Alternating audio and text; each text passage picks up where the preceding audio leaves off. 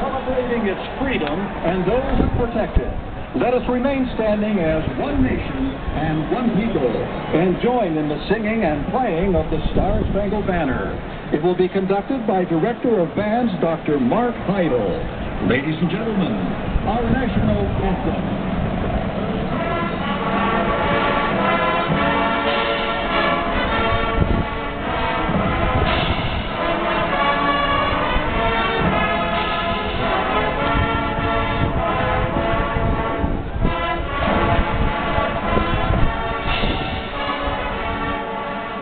Thank you.